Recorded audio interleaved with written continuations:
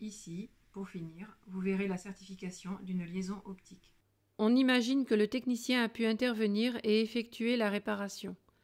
Un test final va pouvoir être réalisé afin de certifier la ligne. Une source optique est disposée en tête de ligne. Elle émet une lumière infrarouge à 1310 nanomètres. C'est l'une des longueurs d'onde communément utilisées sur les fibres. Les étudiants apprennent en cours les raisons physiques de ces choix. Le signal se propage le long du canal de transmission optique.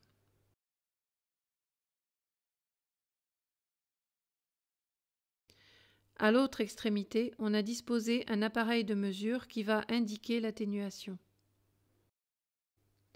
Ici, la perte totale de puissance est de 5,73 dB.